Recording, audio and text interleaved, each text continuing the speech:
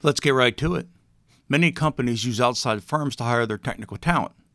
These are often called staffing firms.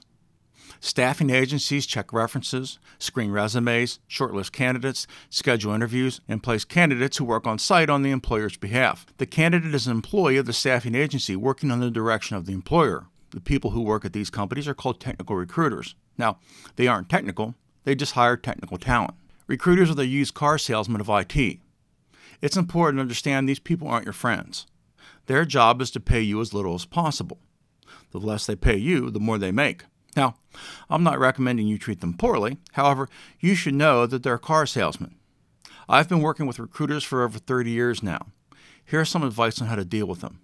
Number one, and this is the most important one, you need to know what you're worth and what your rate is. Almost all recruiting firms have an hourly rate. Set a floor on your rate and don't move from it.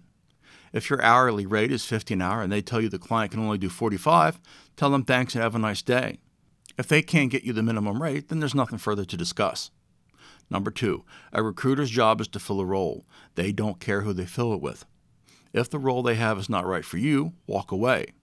You need to find a job that matches your skill set. If the job doesn't look right, it probably isn't.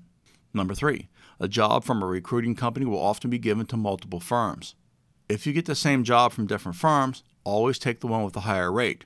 Again, these people are salesmen. They live off the technical skill of others. Here's the final thought you've worked hard to get where you are.